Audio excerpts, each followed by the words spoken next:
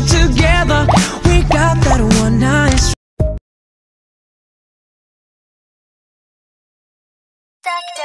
actor, lawyer, or singer. Why not? All right now. Come on.